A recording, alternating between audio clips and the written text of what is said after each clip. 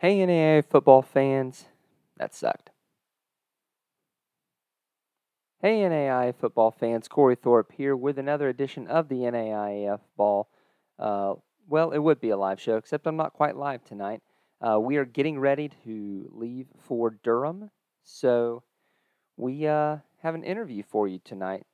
So we hope you enjoy that.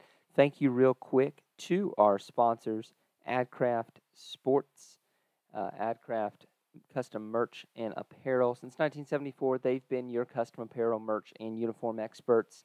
You can see them on ESPN3 as their beautiful uniforms will be displayed on the backs of the Grandview Vikings. You can go see how well the Grandview fans are outfitted from head to foot in Viking gear. Check them out. If you want to see your fans that way, if you want to have beautiful uniforms like Grandview does, check them out at adcraftusa.com. And also for Mommy Bay and Turf Nation, our friends in the turf business. They're doing some great work. Still in the um, still in the baseball side of things for right now. But without further ado, let's go ahead and hit the interview.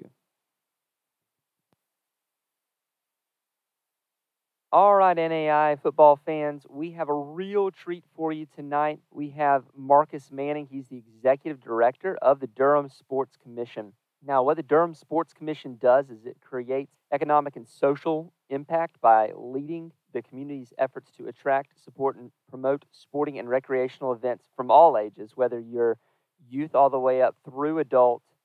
Marcus Manning, welcome to the NAIAF Ball Show. How you doing tonight? Corey, I'm doing great. Thank you for having me.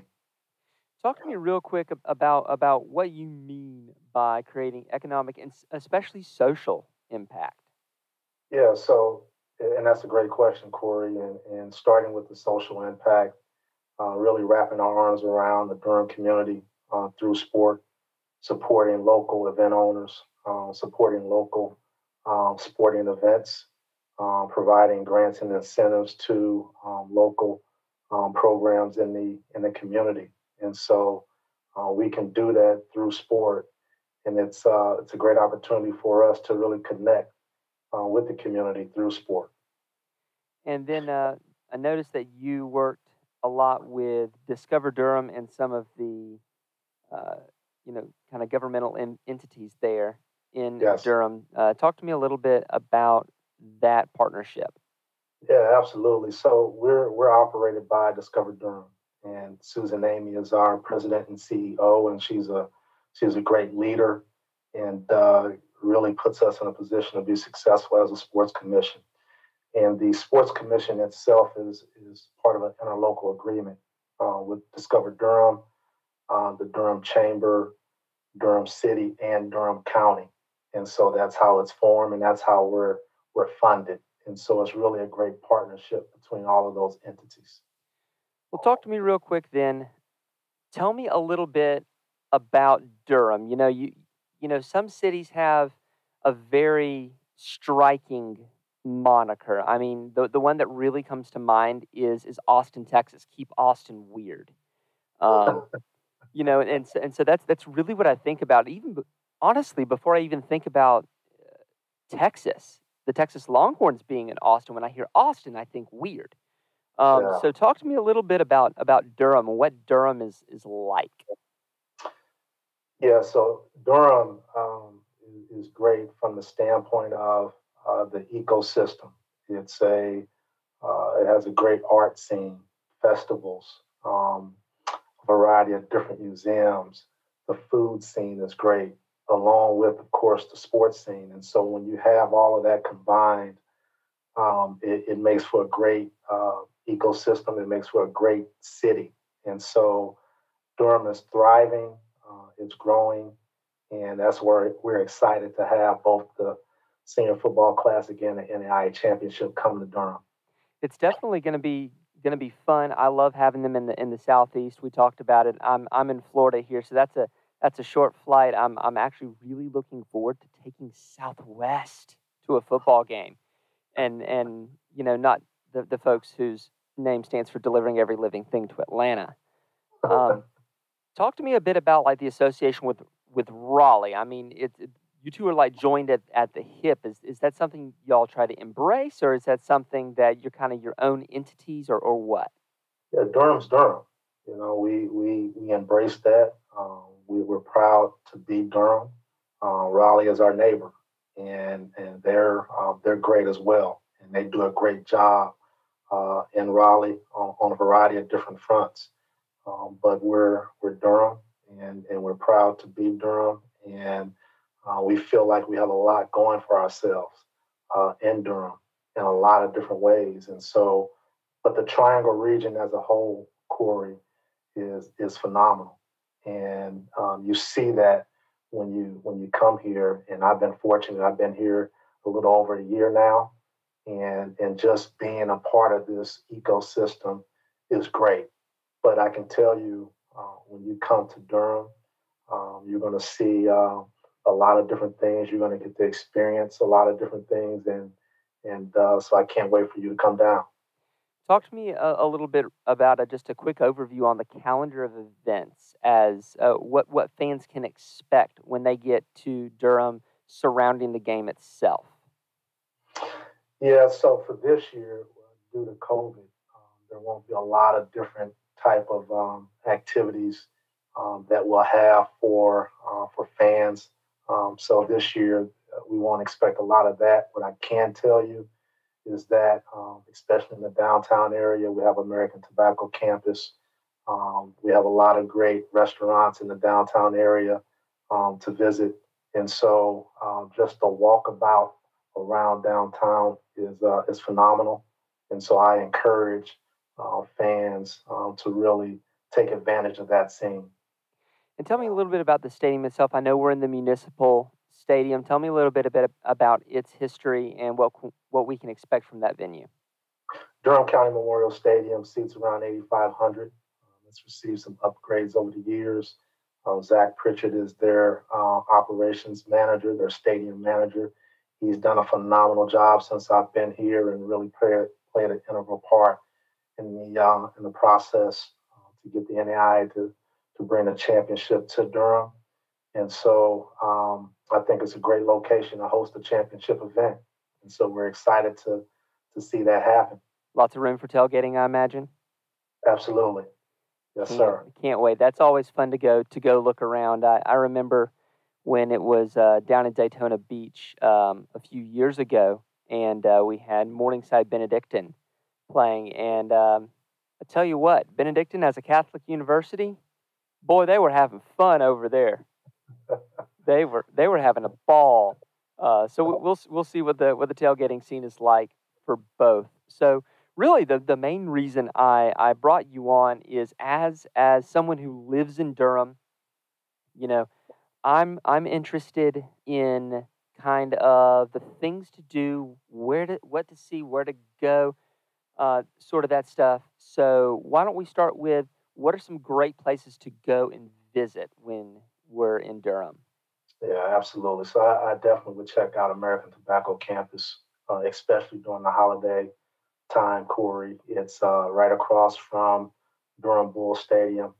Um, and so Durham Bulls Athletic Park.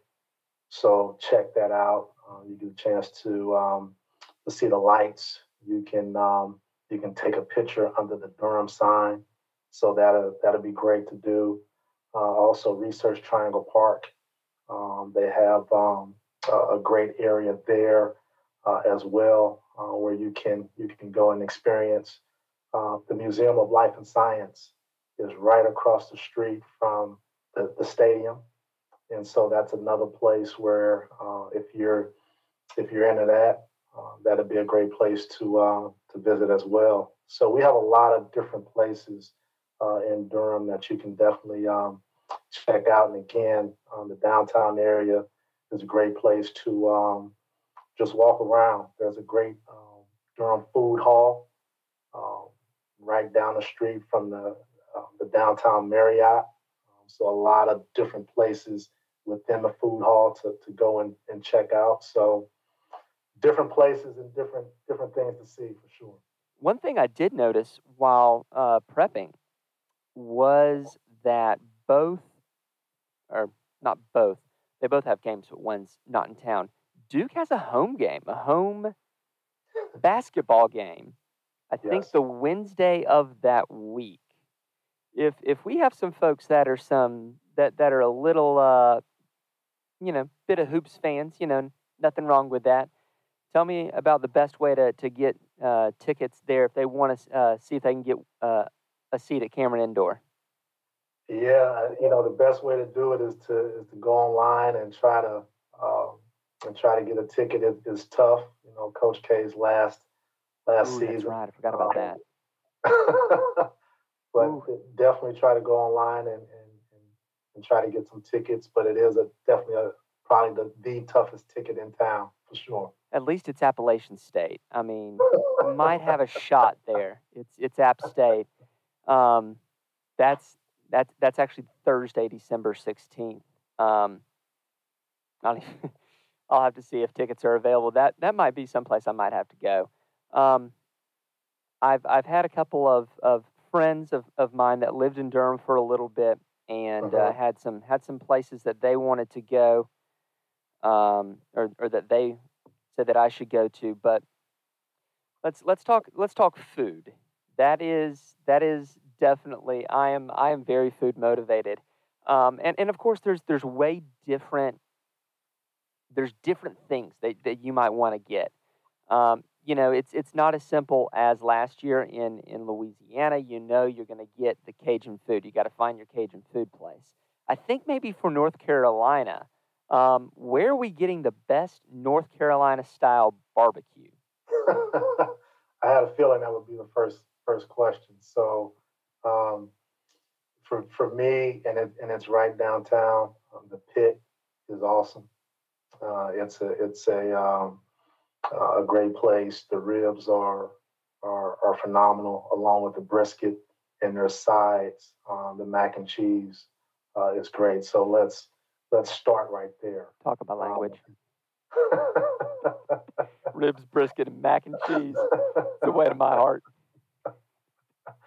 The uh, the the second best place, in my opinion, um, Q Q Shack, uh, bar another barbecue place. Um, again, uh, I think the ribs and the brisket are, are great. Um, their baked beans are, are are really good. So um, just throwing that out there. The Q Shack is uh, probably 10, 10 minutes away from downtown, uh, and the pit is right downtown. I have never been um, pointed wrong to a restaurant that serves barbecue that has in its name the word shack. That is almost, almost a requirement for good barbecue. Some of the best barbecue I've had has been out of out of shacks. To be quite honest with you, I'm not I'm not, I'm not joking. Um, I've heard something about um, Dame's Chicken and Waffles. Now, now I've never had chicken and waffles before. Tell uh tell me about about Dame's Chicken and Waffles. So my wife and I have had Dame's Chicken and Waffles, uh, and it's great. I'm telling you, and it's it's right next door. They have a they have a restaurant downtown, and it's next door to the food hall. So um, I will let you know that it's uh, it's a great place. Uh, I've had it, and, and you cannot go wrong. Best place um, to to pick up a, a quick a quick meal, preferably local. American Tobacco Campus, Parker and Otis. They have great sandwiches. Uh, my favorite sandwich is the shrimp BLT. Uh, it's the number nine, and uh, they give you so much shrimp that it, it it it falls off the sandwich. So if you're looking for something quick, Parker and Otis, American Tobacco Campus. Nice uh, sit down meal. Nice sit down meal. Um, I tell you what, Bull McCabe Irish Pub.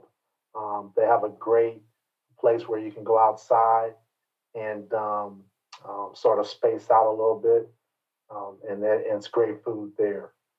and um, you know some of our some of our folks might uh, might enjoy a, a adult beverage.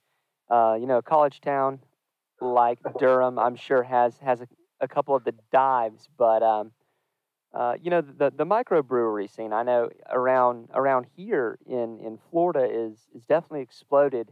Uh, what are some of the best places to relax and, and enjoy adult, an adult beverage?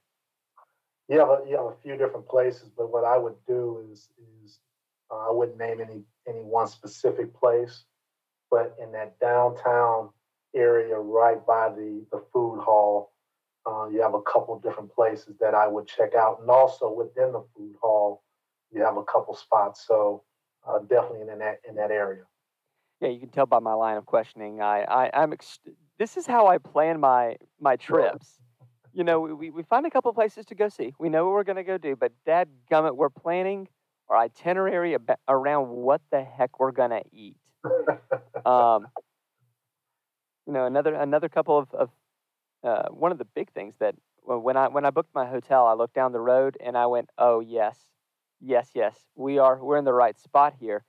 Is uh, a very short distance from my hotel. We have what is called a cookout. and I don't I don't even know if they have one in Columbia, Kentucky for Lindsey Wilson. I know good and well they don't have any of these in, in Iowa. That's that's one place I'm I'm looking forward to. We don't have them. We don't have them in Florida. Uh, cookout is is cheap, cheap fast food, and um, for for my money, uh, if you're going to be in North Carolina, you got to have Cheerwine while you're here. What do you What do you think about Cheerwine? What's your opinion on the Cheerwine? Well, let's let's let's go back to, to cookout. Are, are you a big hamburger fan or hot dog fan oh, yeah. or, or, or both? Oh, I, I I love it all. I mean, the thing I love most about cookout is it's like you get this and this and this and holy cow, you get this much in a combo. Yes. Um, and the variety is great too, man. I, I, I love you know the the hamburgers. I'm not as big on hot dogs. I've, I've never had the, their barbecue like chicken or uh, or pulled pork before, but I know they've got it. They've got such a huge variety. And and have you ever had one of their shakes? I haven't. I need to because I, I, I hear that uh, again the Cheerwine shake is is phenomenal, and and I know I've got to try it, but I have not had one of their shakes. So to, if you get a chance, try one of their shakes, um, and and you will not be disappointed. Will not be disappointed. Now to the to the Cheerwine. Uh, never heard of Cheerwine until I got to Durham, and uh, our neighbor gave us, think, a small six pack of Cheerwine. And Corey, I'm telling you, it, it's uh, it may be better than cherry coke it is better than cherry coke. I, I, love cherry coke and I love wild cherry Pepsi, but dadgum, Cheerwine is it tops them all. I've I had a friend before he moved moved away. Um, whenever we would go to North Carolina, we would bring each other back a case of Cheerwine. Yeah. Uh, so so that we would could have it there. Anything else that we should we should see and do around around the area? you know, we're gonna be we're gonna be tourists here for a couple days. So uh, where um, you know maybe if, if we're into some of the outdoorsy stuff, um, I know you've got you know some some recreation areas and and a state park that's right up the road. T- uh, talk to me about just some other things to do while we're in Durham. Yeah, absolutely. You have American Tobacco Trail, which is which is um, you know a 12 mile stretch, uh, scenic you can you can run, walk, bike, um, and so I think that's something that you definitely want to experience. Right by the stadium, you have Rock Quarry Park right there, um, and so you can you can definitely get a chance to uh, experience that as well. Um, and and you just have a, a, host of other areas within Durham that you can um, that you can take advantage of. And so, uh, if you get the chance, definitely definitely do that. I'll also say, Corey, um, you know, get a chance to walk around um, NCCU, North Carolina Central. Uh, it's historic. Um, it's a great, uh, a great institution here in Durham, along with uh, Duke University as well. So get a get a chance to walk around those campuses if you like to walk college campuses. Both of those college campuses, I think, would be great for you to, to check out if you have the time. Yeah, and um, and and now that you mention that, everyone always thinks about Duke. No one, no one thinks about NCCU. I'm go check the the basketball schedule. I mean, their basketball coach is a living legend. I mean, how crazy is it that two legendary coaches in in their specific worlds um, are are right there in Durham? LeVelle Moton is a legend in in that sort of HBCU uh, men's basketball field. Yeah, and, and just overall, Corey, uh, you know, again, the sports ecosystem here is phenomenal. You think about um, the two leaders of the athletic departments uh, at Duke, you have Nina King, and at North Carolina Central, you have uh, Ingrid uh, Wicker McCree, and um, they're two power brokers in the world of intercollegiate athletics, and they're right here in our backyard. So to have them, uh, and then also the Durham Bulls, uh, a pretty successful minor league baseball team here, uh, and then also the, the high school scene here is is phenomenal as well. So uh, it's it's exciting to be a part of. I mean, how many other cities have a Hollywood feature film that talks about their particular minor league club? I mean, you, you, know, you got you got Bull Durham here, and and just for just for equal opportunity here, uh, if you can't get the Duke ticket, you know, NCCU does have a game against Gardner Webb on uh, Wednesday, December 15th, that I'm sure would be a great one to check out as well. But thank you. Thank you so much, uh, Marcus Manning from the Durham Sports Commission, for joining me tonight. I look forward to, to seeing you and the rest of the, the Durham sports folks in um, when we're taping this, uh, just in about two-ish weeks or so when we when we actually are airing this it'll be about a about a week so folks will be making their itineraries. But thank you for joining me tonight. Appreciate your time. Appreciate you coming on to talk. Corey i can't thank you enough for having me. Looking forward to meeting you in person uh, i can't wait to uh, for you to let me know when you uh, when you experience some durham food here. So looking forward to that. This has been the NAI F Ball. Not Quite Live show, sponsored and powered by AdCraft Custom Apparel and Merch.